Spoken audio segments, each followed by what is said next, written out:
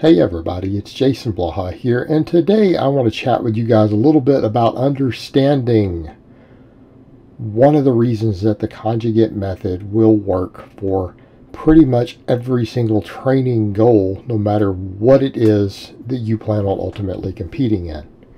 Or if your goal is to just get generally strong and fast and powerful and athletic.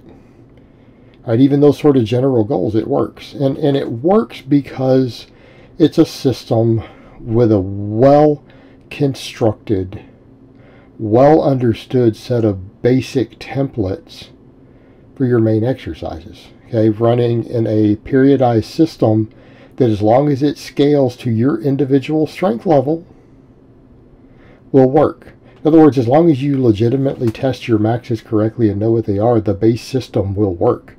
Almost anybody will get bigger and stronger running conjugate unless they're an advanced lifter already, even if they mess up the supplemental work. As long as they're doing supplemental work, they can actually get it somewhat wrong and still make progress. It's just not going to be great progress. And that's the difference that we need to understand here with this. The supplemental work lets you fine tune it towards goals. That's why it's not necessarily a power lifting system a power lifter will look at the, the squat, bench, and deadlift variations on this training system and try to build their strength base using the supplemental lifts based around those. They'll, they'll just work on their weak points for those. Okay? But you could do something totally different and still make good gains. In fact, I would venture to say that if a person didn't want to have a lot of complexity or care about a whole lot of specific goals, they could just run conjugate and do some upper back work with rowing and some good mornings and a little bit of arms. the average lifter would probably make more progress just running the max work and the speed work and rotating lifts with whatever equipment they have than 90% of the training systems that are already out there, the other stuff that's out there. And, and that's what I mean by it. You'll actually make gains on it. Now, if you're a, you know well into your intermediate phase or something, possibly an advanced lifter, that may not be good enough, and it's because you're actually going to need to do real weak point training at a certain threshold. Otherwise, your progress is going to be excruciatingly and painfully slow. But you would still probably make some progress. So, what it comes down to is tuning the supplemental work around your goals. And the supplemental work that you're going to need for being a baseball player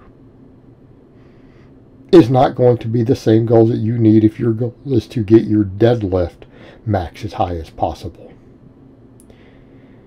And the reason the system works with all of this is because almost everyone out there will benefit from increasing max strength, increasing speed strength, and increasing general hypertrophy. Almost every single athletic goal on earth will benefit from those. And I'll go so far as to say even guys who just want to gain some muscle will benefit from those. Right? In, in what world out there are you not going to gain some muscle by putting another 100 pounds on your bench press? Now, four guys say, well, the one rep max isn't always. Well, if your max goes up by 100 pounds, so did your 10 rep max. Okay. Have you ever seen any guy take a closed grip bench press and go from 135 for 10 to 235 for 10 and not see their pecs, shoulders, and triceps grow? Have you ever heard of that happening? Of course not. Of course not. Same thing with your, your box squatting and your pulling and other stuff. Right? You're, you're going to gain muscle. You're going to gain muscle from the speed work. The speed work alone is hypertrophic. I've had natural bodybuilders admit when they messed with conjugate that they got a lot bigger on the speed work. When they added in the dynamic work, they got bigger. They gained muscle, particularly in the muscles most involved in the speed work. Like their back, their triceps. Okay? You'll get bigger doing it. But getting stronger and getting faster on a periodized system tends to make you better at most sports. Tends to make you better at most of your physical goals. And everything else is about fine tuning the supplemental work because this is a system to where it's intended that you're going to do supplemental work. Right? You're going to do sport specific work. The system is written in such a way that the primary template is low volume. And that's one of the, the strawman arguments people make. Well, it's a low volume system. Only the base templates and if you follow only the base templates, you only do one exercise two days of the week out of your out of your four training days. So obviously you're supposed to be doing other stuff. And it's all written into all the structure of it. Because the base template you have two max effort days and two dynamic effort days. And it works. And it works in dozens of different sports. Elite athletes all over the world in dozens of different sports use this system not a powerlifting system.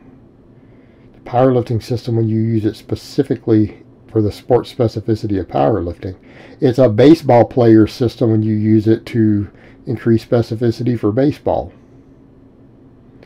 It's just a basic strength and conditioning system that's well structured off of good science and good periodization concepts.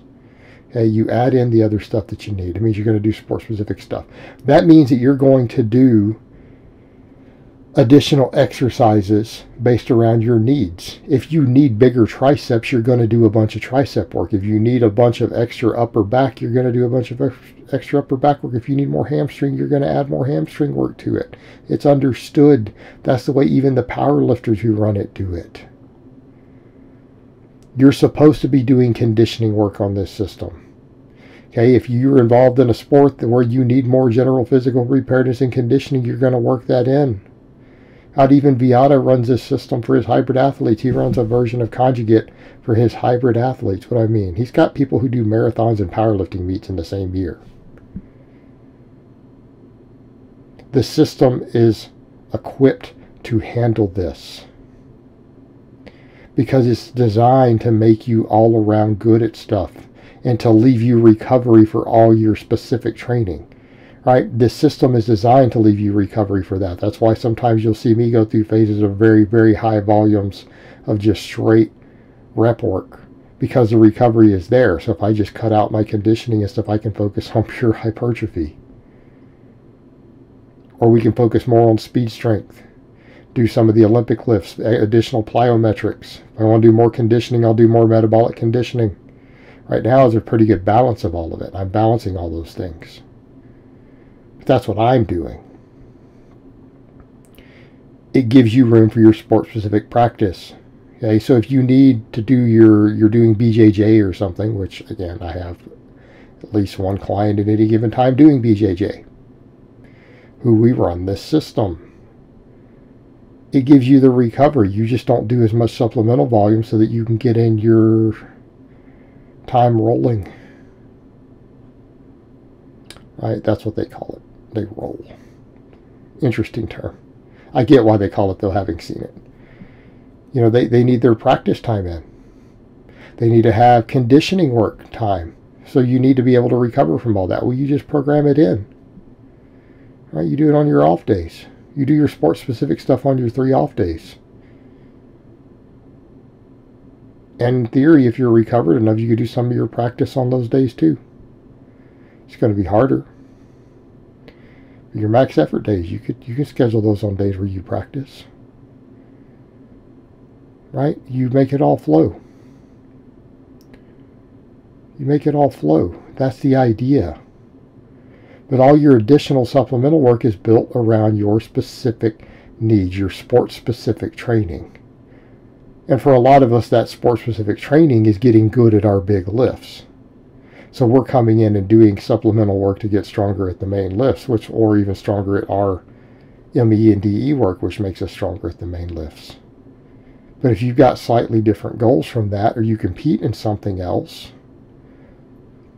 the program is designed to still be a general strength and conditioning program that's really, really good and you just replace some of the other stuff, the mini workouts and restoration workouts and GPP, with your sport specific needs.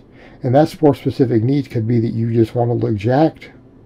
So what would you replace a lot of that with? Just bodybuilder type training. And it works. And it works for everyone. It works for everyone. Okay. It's why I tell people the system can be used by everybody.